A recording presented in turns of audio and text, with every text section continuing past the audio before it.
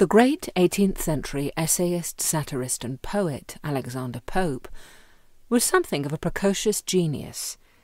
Having written this bittersweet celebration of self sufficiency and the union of humanity with nature at the extraordinarily tender age of twelve.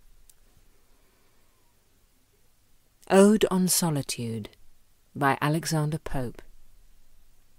Happy the man whose wish and care a few paternal acres bound, content to breathe his native air in his own ground, whose herds with milk, whose fields with bread, whose flocks supply him with attire, whose trees in summer yield him shade, in winter fire.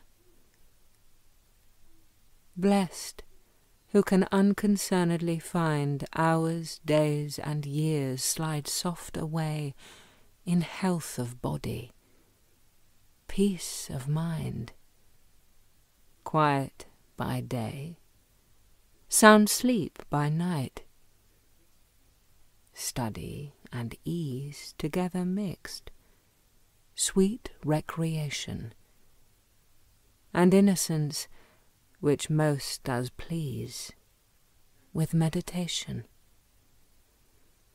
Thus let me live, unseen, unknown.